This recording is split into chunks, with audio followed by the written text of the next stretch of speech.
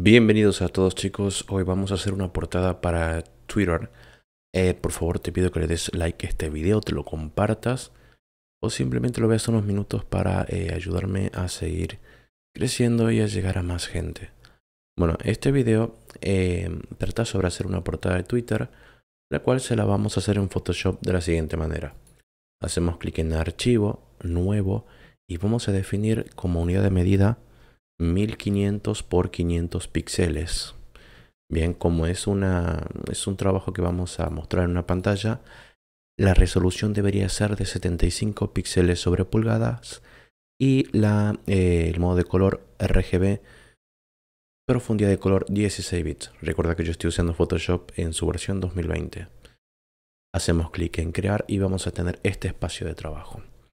Bien, el trabajo anterior se basa en colocar imágenes dentro de formas y darles un, color. Para eso vamos a presionar la tecla U de nuestro teclado que nos va a permitir eh, acceder a la herramienta rectángulo que estás viendo en pantalla. Y acá arriba la vamos a eh, configurar con un relleno. Es importante que tenga un relleno de cualquier color, pero que lo tenga. El trazo podría eh, no ser necesario en este caso. O le puedes dar un trazo blanco, por ejemplo, de hasta de hasta 5 píxeles o puntos.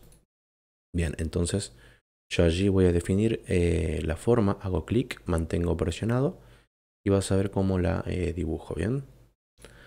Bueno, se te dibuja la forma y lo que vas a hacer a continuación es hacer clic en archivo, colocar o colocar elemento incrustado y vas a buscar eh, una foto, digamos que, bueno, que tengas para hacer este trabajo, ¿no? Acá yo encontré una, que es la de este hombre, lo voy a colocar encima de la forma, ves, cubriéndola. Y voy a presionar el botón derecho sobre la capa de la foto. Recuerda que a cada cosa que yo hago se crea una capa. Acá tengo la capa rectángulo y acá tengo la capa con el nombre de la imagen que en este caso le voy a renombrar como foto 1. Bien, para renombrar capas lo único que tienes que hacer es doble clic eh, sobre el título, el título de la capa y listo, bien. Ahora, eh, voy a presionar botón derecho sobre la capa de sobre la capa de foto 1 y voy a dar a crear máscara de recorte y fíjate que se crea perfectamente. Ahora lo que vamos a hacer aquí es duplicar el rectángulo, la capa del rectángulo. Fíjate que mantengo alt y muevo la capa por encima de la foto. Y fíjate que ahora tengo dos rectángulos. El rectángulo que está siendo rellenado con la foto y este rectángulo de arriba que va a contribuir a darle un color. Si yo hago doble clic sobre la capa, sobre la vista previa de la capa rectángulo 1 copia, voy a poder cambiar el color, por ejemplo, a un rojo. Y ahora lo que voy a hacer es cambiar el modo de fusión a, por ejemplo, multiplicar y ya me quedaría ese efecto. Allí tendría eh, creado ya eh, la primera foto con estos efectos. O sea, fíjate que el modo de fusión fue multiplicar. Bien, acá voy a agrupar todo esto seleccionándolo, mira, mantengo control y hago clic en cada capa. Y ahora voy a presionar sobre esta carpetita que está acá o también puedes presionar control G de tu teclado para agrupar. Se va a crear el grupo 1 y yo voy a llamarle foto 1 bien, y ahora mira lo que voy a hacer. Haciendo clic sobre la capa sobre el grupo de la capa sobre el grupo, perdón presiono control J que es duplicar control T que es transformar y lo voy a ir eh, moviendo, ¿bien? Vuelvo a hacerlo, nada más que ahora esto le voy a llamar eh, foto 2. Foto 2. Ahora voy a duplicarlo. A ambos voy a duplicarlos. Mantengo control y selecciono ambos grupos. Control J, control T. Bien, de esa manera puedo avanzar un poquito más rápido. Bien, ahí y me quedaría espacio. Bueno, ahí no le hice un buen Ahí está. Bueno, ahora vamos a crear el último. Control J, Control T. Y bueno, acá mucho no se va a mostrar la última, pero eh, nos sirve. De última, lo que podemos hacer si queremos que se muestren sí o sí todas, es seleccionar a todas, a todos los grupos, Control T y le, reducimos un poco el tamaño, ¿no? Eso podrías hacer como para que entren toditas sin mucha desproporción. Ya te entran todas. Y bueno, acá lo que vamos a hacer es entrar a cada grupo y en este caso le voy a cambiar el color. Bien, por ejemplo, elegí el verde. Ahora voy a entrar al otro grupo, doble clic sobre el, el icono que está arriba y le voy a poner otro color, por ejemplo, un azul aquí. Y este lo voy a renombrar como foto 3 al grupo. Y bueno, después tenés, por ejemplo, la foto 4. Foto 4. Bien, ahora lo que voy a hacer es doble clic sobre este y voy a cambiarle el color, por ejemplo, en amarillo. Bien, y después a este de acá le voy a cambiar haciéndole doble clic siempre sobre la vista previa el color, por ejemplo, a un rosa o morado. Y fíjate que ya tenemos un poco ya conseguido este efecto. Me quedaría sustituir las imágenes. Está compuesto por cinco fotos. Fíjate que ahí los voy renombrando. Y acá lo que vamos a hacer, opcionalmente es botón derecho y le damos a gris. Botón derecho, violeta. Botón derecho, amarillo. Botón derecho sobre el grupo de la capa, que es donde lo estoy haciendo, rojo. Botón derecho, por ejemplo, eh, qué sé yo, verde. Bien, esto nos permite ver qué cosas están dentro del grupo para que no se confundan. Y acá, por ejemplo, en la foto 2, tengo la foto 1 que está recortada, botón derecho, reemplazar contenido, voy a buscar otra foto que tenga, digamos, este eh, cercana, por ejemplo, ahí estoy, ahí está su servidor. Uy, profe, ¿qué pasó ahí? ¿Qué pasó ahí? No, mire ese problema, profe, ¿qué pasó? ¿Qué hizo? Bueno, presionamos control Z para volver hacia atrás o haces clic en edición, deshacer, que es lo mismo. Eh, acá lo que vamos a hacer simplemente es eliminar la foto y colocar la otra. Archivo, colocar, elemento incrustado eh, y vamos a colocar, por ejemplo, estoy yo de vuelta. Así que ahí lo vamos a mover. Bien, y ahora botón derecho sobre la foto y vamos a hacer clic en donde dice crear máscara de recorte y se crea.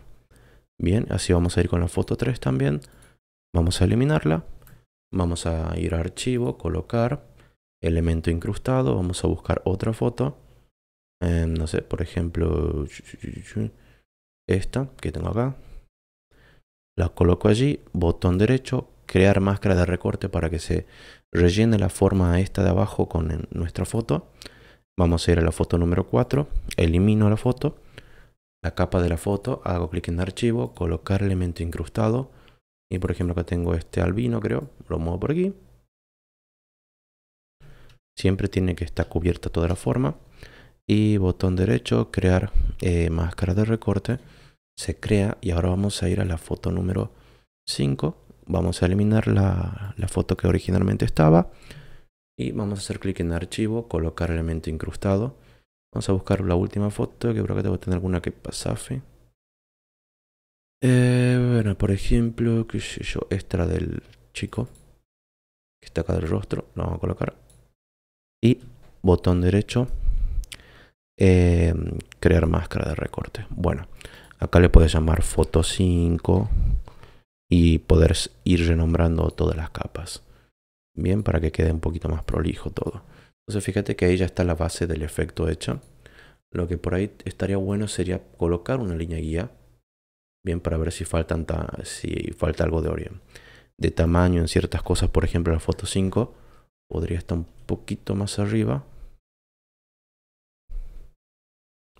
¿Ven? Y ahí estoy presionando control T sobre cada grupo para eh, asegurarme. La foto 5 y la foto 3 estaban un poquito bajada. Ahora las voy a subir un toque. Y allí están, ya están bastante, bastante bien. Fíjate que voy a poner otra línea guía. Profe, no tengo la regla, ¿cómo hago? Bueno, lo haces de la siguiente manera. Vas a vista y activas reglas.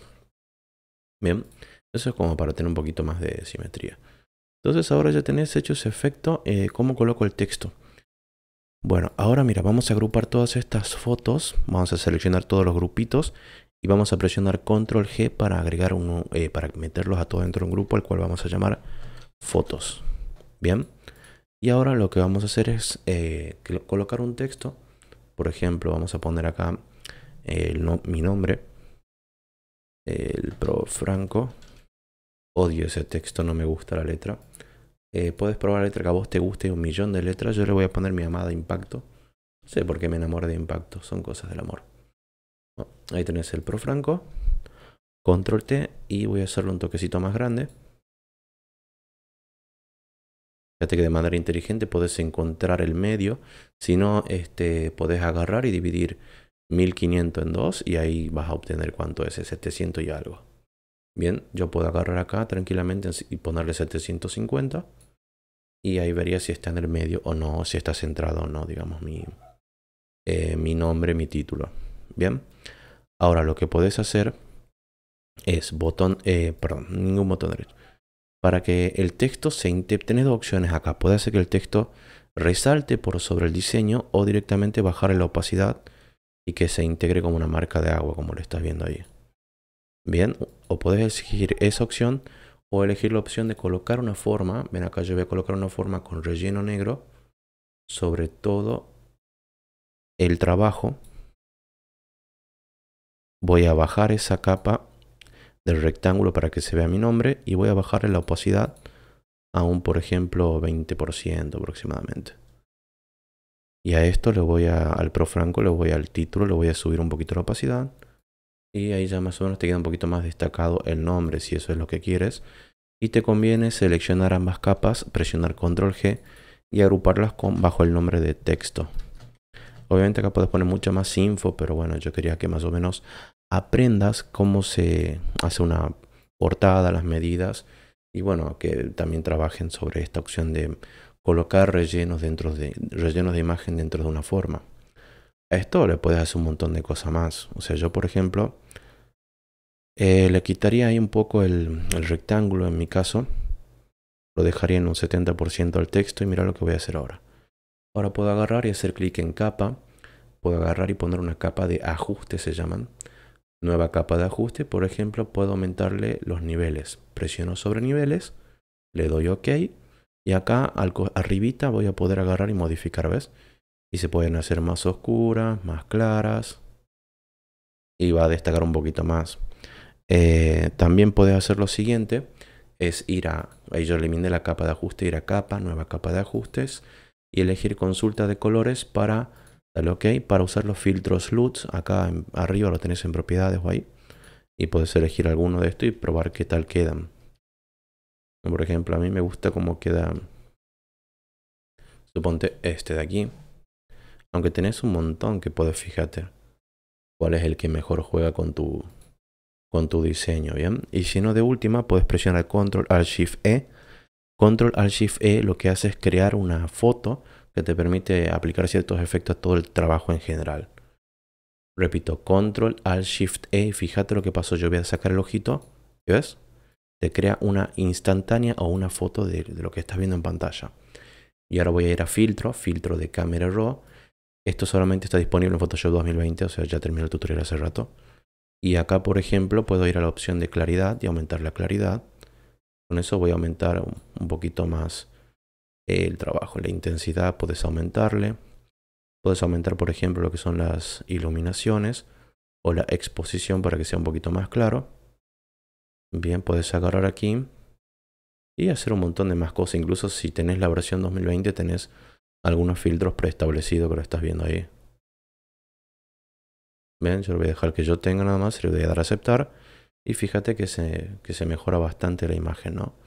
Si vamos a la historia y hacemos un antes y un después, fíjate que tiene un poquito más de, de lo que sería el brillo y demás. Bien, eh, bueno, eh, ya con eso lo guardas le das archivo, guardar como y le das guardar en el ordenador. No volver a mostrar. Le pongo, por ejemplo, portada de Twitter. Que te la voy a dejar en la descripción del video. La voy a guardar en el escritorio. Y después la voy a exportar. Archivo, exportar, exportación rápida como... No, vamos a clic en archivo, guardar como. Pero que todavía no se termina de guardar. Archivo, guardar como. Y acá voy a cambiar el formato, el tipo, voy a ponerle JPG. Y ahí ya lo puedo guardar para subirlo. Bien. Eh, perfecto, ahora bastaría fijarte en Twitter. Vas a entrar a Twitter. A tu cuenta o a la cuenta, digamos, donde vos estés diseñando la portada. Eh, por ejemplo, voy a ir a la parte de inicio. ¿Qué onda? Eh, ¿Dónde está? Bueno, fíjate que está mi portada, que son con mis alumnos. Pero bueno, vamos a probar con esto, ¿bien? Le hacemos un clic. Bueno, no, me equivoqué. Editar perfil. Y acá vamos a hacer clic en esta fotito y vamos a poner la que acabamos de diseñar. Eh, vamos a ir a escritorio, la guardé y ahí está portada de Twitter. Le doy a aplicar. Guardar. Y bueno, también es importante que cheques cómo queda en el celular, ¿no? Fíjate que queda bastante bien el encaje. Eh, por lo menos en PC está perfecto. Voy a entrar desde el celular y te voy a confirmar que también se ve extremadamente eh, acertado. Bien. Eh, bueno chicos, síganme en Twitter por supuesto. Hace rato que no, no subo nada, pero ahí va. Este, bueno, muchas gracias por prestar atención y espero que te haya sido útil el video para tus prácticas como diseñador. Te mando un abrazo gigante y hasta la próxima. Nos vemos.